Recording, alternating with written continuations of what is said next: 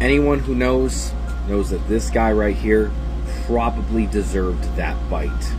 Very rarely do nurse sharks bite, and especially unprovoked. Usually got to be messing with them. This guy went out to see how what it would take to get a nurse shark to bite him. He literally put the food up to his shoulder, and they sucked the food off of his skin and didn't bite him once. They they suck in stuff, so they have to literally go out of their way to bite you, and they latch on, they suck in and grab on if they're really irritated.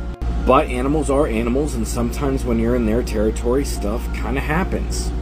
And an animal can get spooked and just go all sorts of crazy, even when they normally, as a species, won't do that. Like this little baby nurse shark here just went wild on these guys.